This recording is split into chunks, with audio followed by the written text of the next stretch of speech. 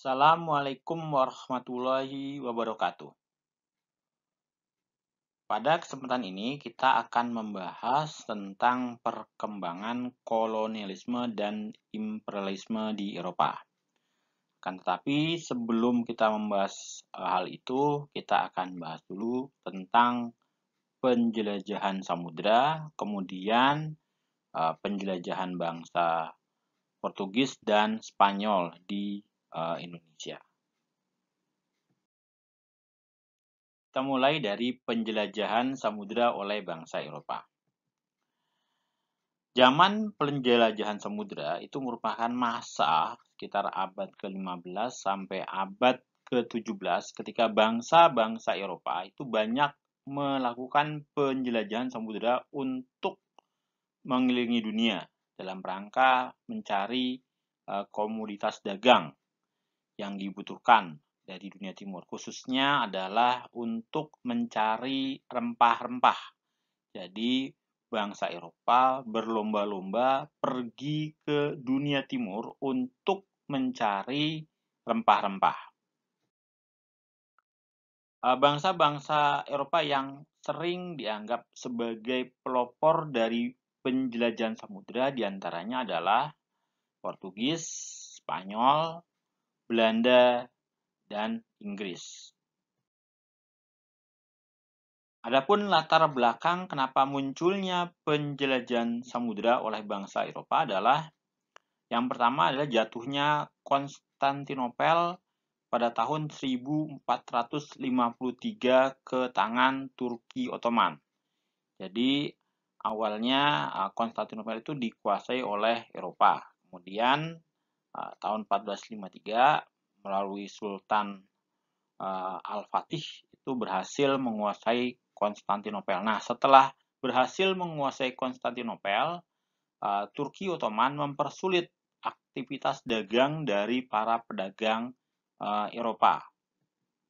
Akibatnya, harga-harga itu menjadi mahal, khususnya adalah harga rempah-rempah Nah, hal itu kemudian mendorong bangsa Eropa untuk mencari uh, asal rempah-rempah dari uh, tempatnya, yaitu di Nusantara salah satu. Latar belakang berikutnya dari penjelasan samudera adalah adanya penemuan dan perkembangan baru di bidang teknologi maritim seperti penyempurnaan kompas, teleskop, kemudian peta dunia, dan karavel. Karavel apa sih? Karavel adalah perahu cepat yang berukuran kecil sehingga mudah dikendalikan ketika menjelajahi samudera. Berikutnya adalah uh, adanya teori Kopernikus yang menyatakan bahwa bumi itu bulat. Jadi sebelumnya itu berkembang bahwa bumi itu datar.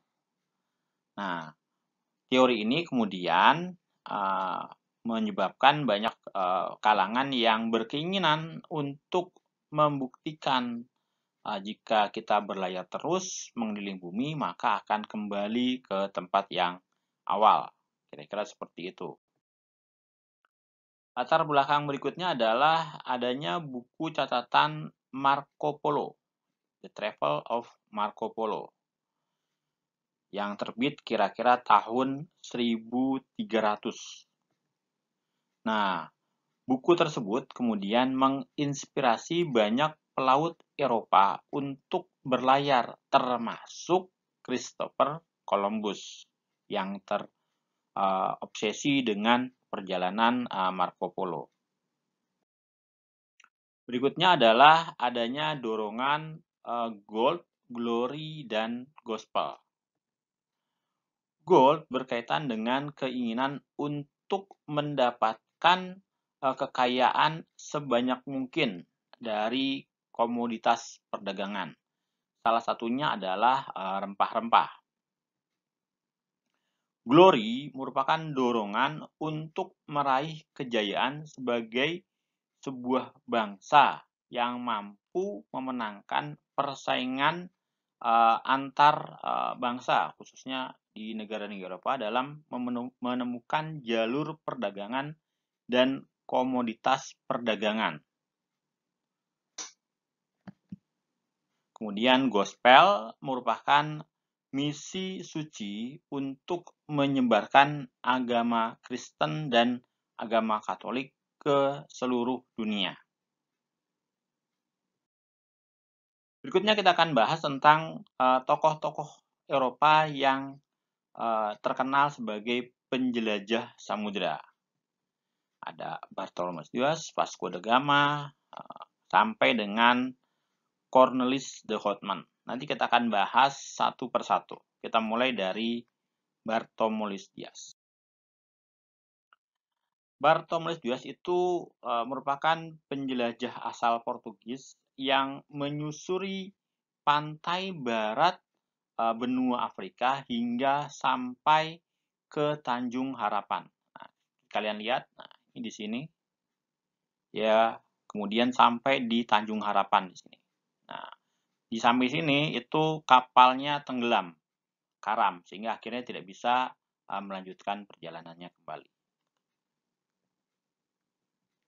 Berikutnya adalah Vasco da Gama.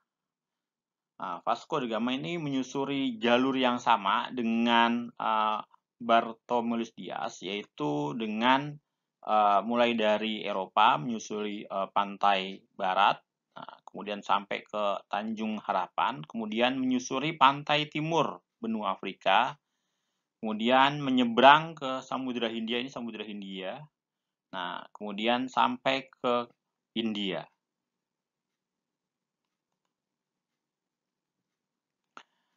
Berikutnya adalah uh, Alfonso de Albuquerque.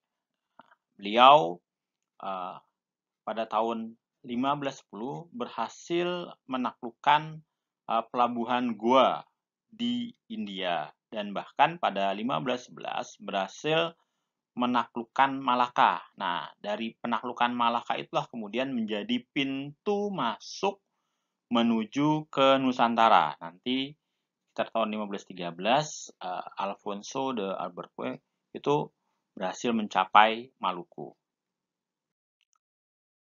Oke, berikutnya adalah Christopher Columbus. Sebelum saya bercerita tentang Christopher Columbus, ini ada fakta menarik sedikit. Nah, kalian boleh nanti googling tentang perjanjian Tordesillas. Jadi sebelumnya itu ada sebuah perjanjian namanya perjanjian Tordesillas. Dalam perjanjian ini bumi itu dibagi menjadi dua pengaruh, yaitu sebelah barat untuk Spanyol dan sebelah timur untuk Portugis. Makanya kemudian uh, Spanyol ini berlayar ke arah barat, sementara Portugis berlayar ke arah timur.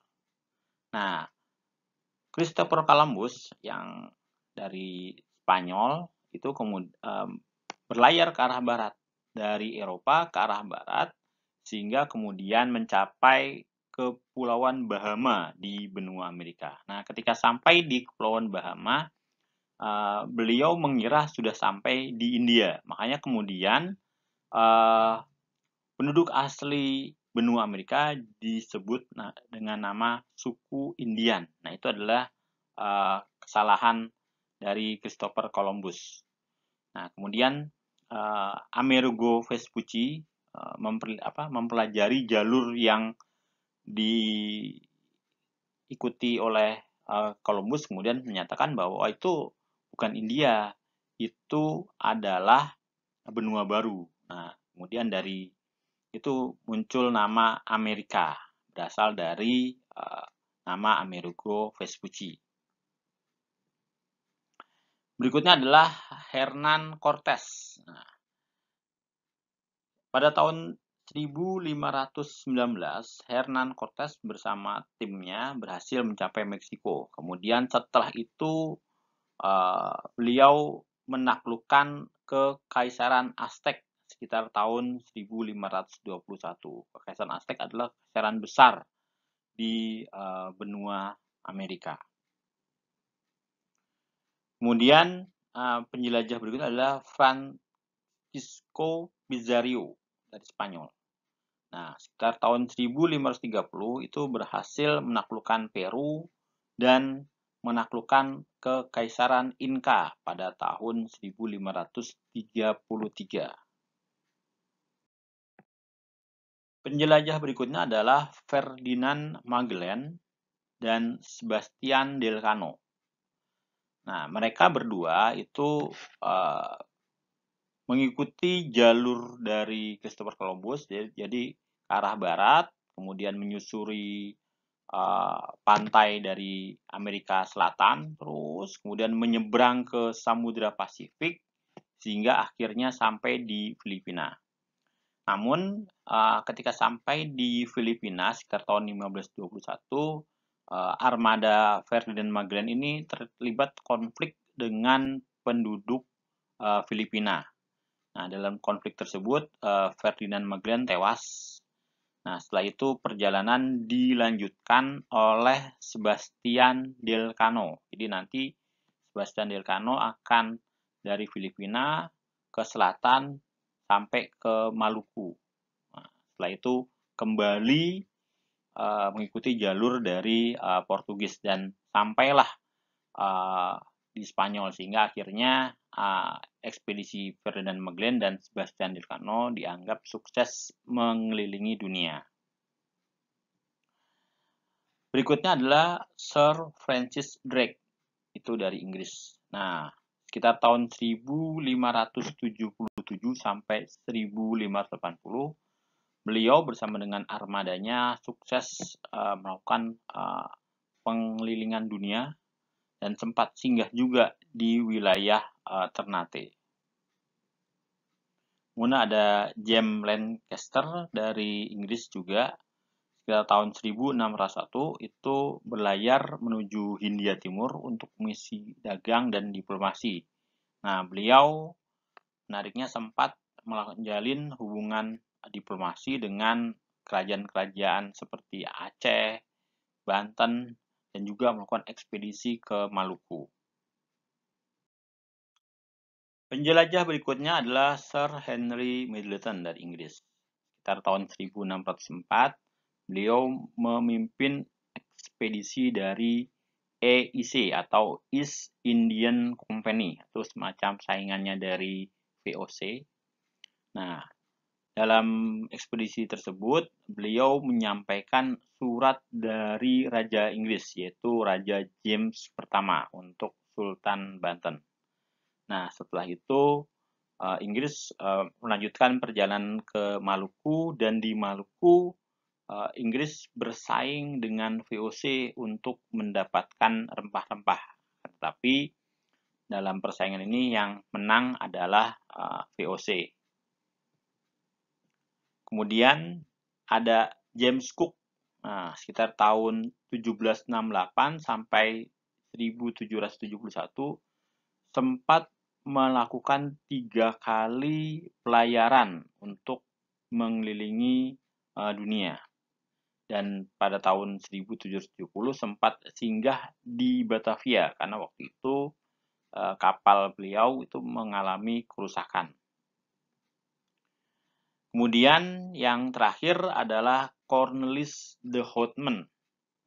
Ya, beliau berlayar uh, pada tahun 1595 menggunakan empat buah kapal dan tiba di Banten sekitar tahun 1596. Nah, setelah uh, Cornelis de Houtman sampai ke uh, Banten atau ke Indonesia sekarang, ya setelah itu dimulailah uh, penjelajahan dari Belanda ke Indonesia sampai kemudian dibentuk VOC dan seterusnya.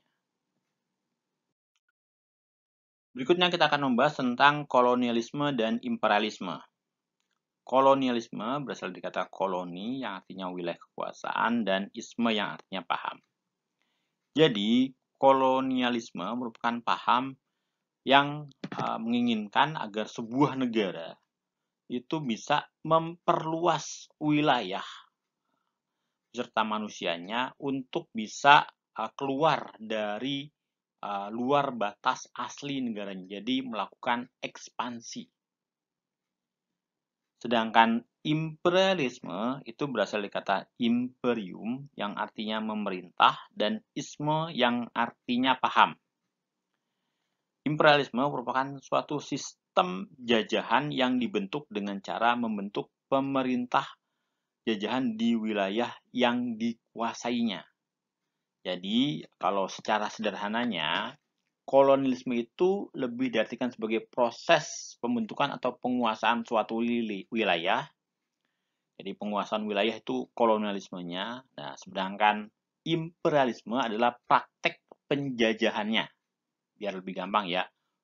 Kolonialisme adalah proses untuk menguasai suatu wilayah. Imperialisme adalah praktek uh, melakukan eksploitasi atau penjajahan. Berikutnya kita akan membahas tentang uh, kolonialisme yang bisa dibedakan menjadi kolonialisme eksploitasi, yaitu penguasaan suatu wilayah untuk dikuras habis sumber daya alamnya demi keuntungan negara penjajahnya. Nah, ini banyak ya contohnya.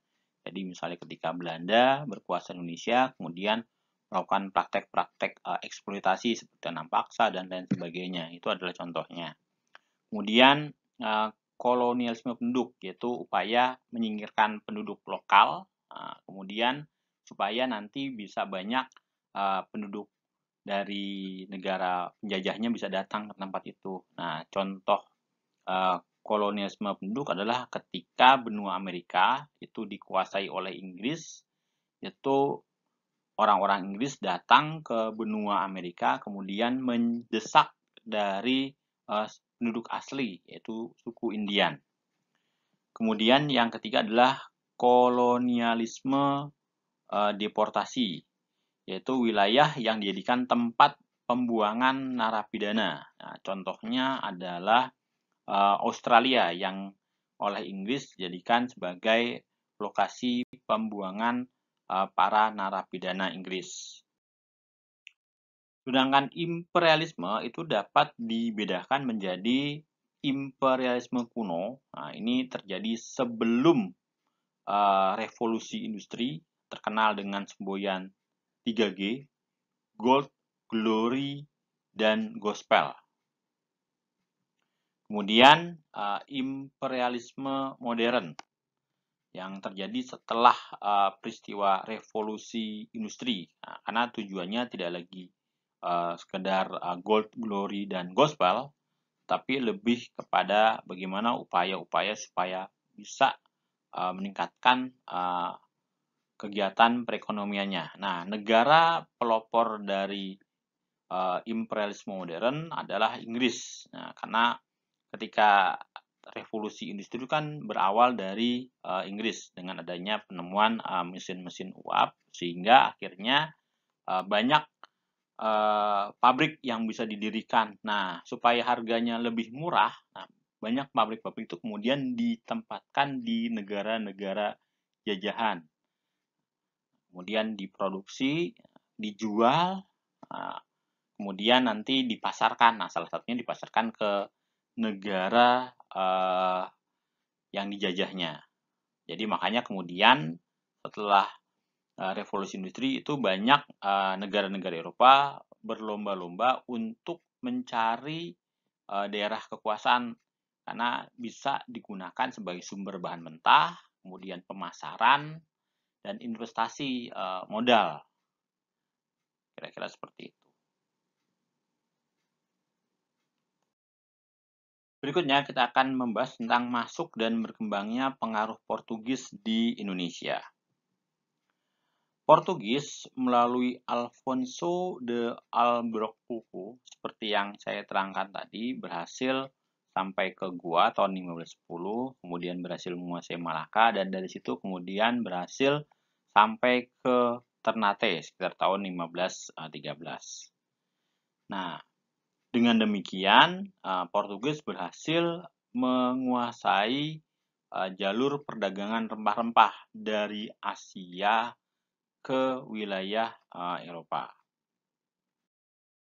Pada tahun 1522, Portugis sempat bekerja sama dengan kerajaan Sunda Pajajaran dengan menandatangani perjanjian Sunda Kelapa.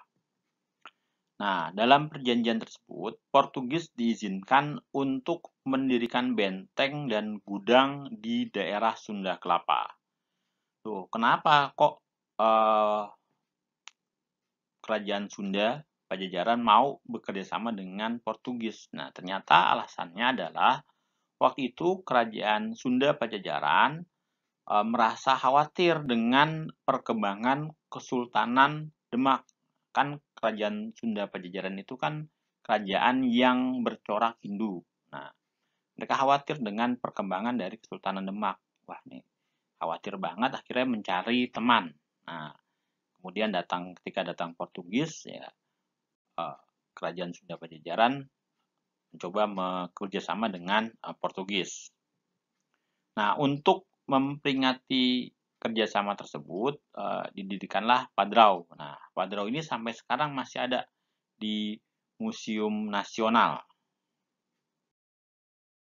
Kerjasama antara Portugis dengan Kerajaan Sunda Pajajaran tersebut sudah barang tentu meresahkan Kesultanan Demak. Demak khawatir nanti Portugis eh, berniat untuk menguasai Pulau Jawa. Oleh karena itu, tahun 1526 sampai 1527 eh, Demak eh, melakukan penyerbuan ke wilayah Sunda Kelapa. Nah, penyerbuan itu dipimpin oleh Fatahillah. Nah, tahun 1527 penyerbuan berakhir dan Sunda Kelapa berhasil direbut oleh Demak. Nah, oleh uh, Kesultanan Demak, nama Sunda Kelapa itu diganti namanya menjadi Jayakarta yang sekarang menjadi nama dari ibu kota Jakarta. Nah, untuk Portugis itu setelah terusir dari Sunda Kelapa, kemudian lebih banyak beroperasi di Kepulauan Maluku. Nah, di Kepulauan Maluku, Portugis bersekutu dengan Kesultanan Ternate. Sultan Ternate itu mengizinkan Portugis untuk mendirikan benteng di Ternate. Ada benteng Sao Paulo dan benteng Castella atau benteng Gamalama. Nah, kenapa kok uh, Ternate mengizinkan Portugis untuk mendirikan benteng. Yang pertama, untuk melindungi kepentingan Portugis di Maluku. Yang kedua, melindungi Ternate dari ancaman musuh. Nah, jadi waktu itu Ternate memang sedang bersaing dengan kerajaan Tidore. Nah, hubungan Portugis dan Ternate itu kemudian menjadi renggang ketika Portugis malah campur tangan dalam urusan dalam negeri Kesultanan Ternate.